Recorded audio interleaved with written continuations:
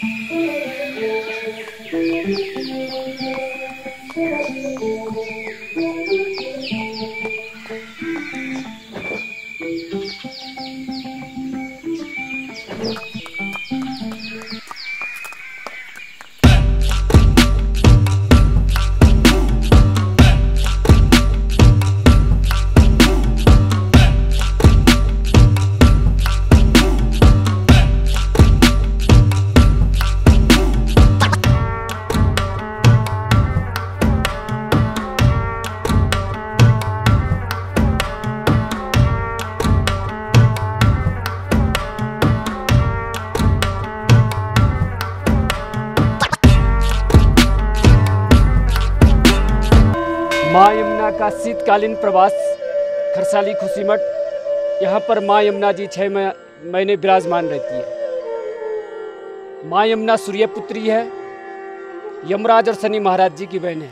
कहा गया कि गंगा च, यमुना चेव समित्र लोग पावनी यथो दर्शन शिवता इति मानव।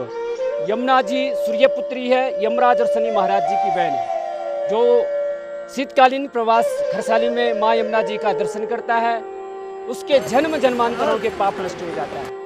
कहा गया कि प्रयागे कूले यमुना तटे सरस्वती पुण्यम गुहम तो इस स्थान पर जो भी व्यक्ति माँ यमुना जी का पूजन करता है, दर्शन करता है और स्पर्श करता है, उसे यम यातना नहीं मिलती। सूर्यालोके समासदे ब्रह्मलोके में क्योंकि माँ यमुना जी सूर्य पुत्री है, पहले आप यमुनोत्री का दर्शन करते हैं, फिर आप गंगोत्री जाते हैं ज्ञान।